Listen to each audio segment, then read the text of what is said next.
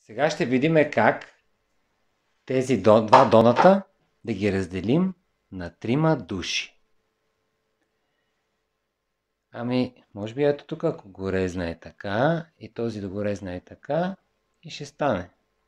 Но не мога да съм сигурен.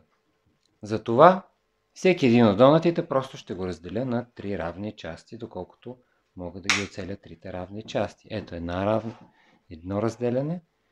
И сега трябва някакси все едно правя Мерцедес. Хоп, второто разрязване. Накрая третото разрязване. И ще разрежа и другия донат. Разрязвам го веднъж. Разрязвам едната част. Някъде тук. И още едно разрязване ето тук.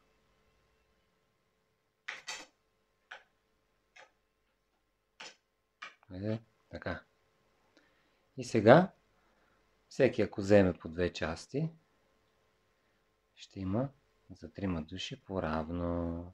И колко има всеки?